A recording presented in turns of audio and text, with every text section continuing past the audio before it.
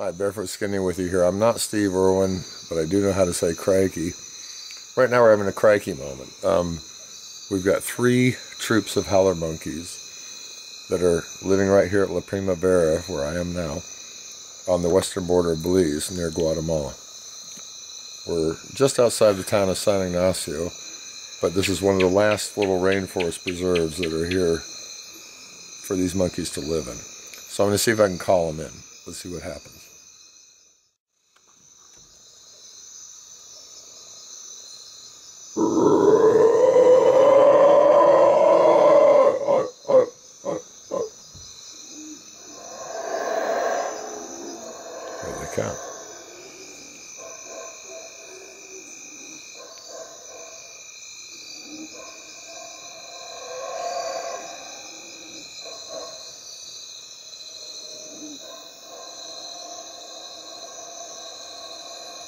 Over here is Zeus. I know his call. Over here is a new young man who's trying to lead the tribe. So we have a different sides of the property. Zeus is over here. I haven't named this young man yet. Maybe he'll be Caesar. But we have Rex, who's the grandfather. And Rex, you know when he's here because he's the biggest howler monkey ever seen. I'm going to try and do Rex's call and see what Zeus thinks about it. Because Zeus is a son of Rex. I'll wait for him to finish.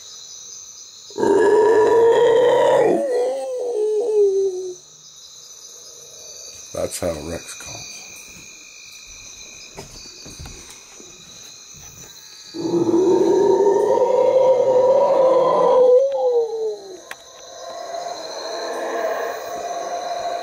Now we have Zeus's sons going ape shit about it, literally. Because he's got four sons. Zeus has got four young men in his little troop, right? We have four troops here. We have Rex's troop.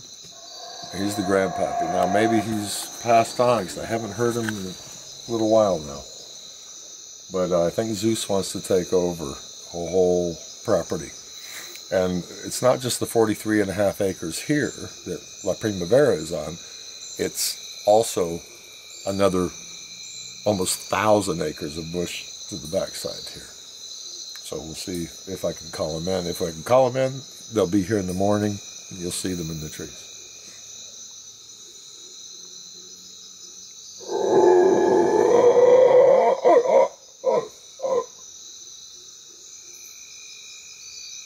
You can hear the other ones behind you. That's a lesser troop over there. Zeus is pretty much trying to take over the area from Grandpa right now. Because Grandpa's not talking right now. He's not talking.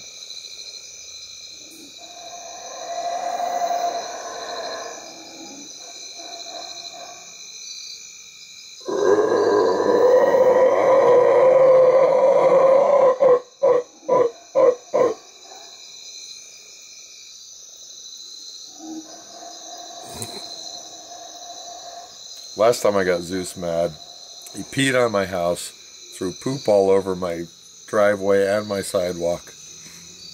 I guess I deserved it.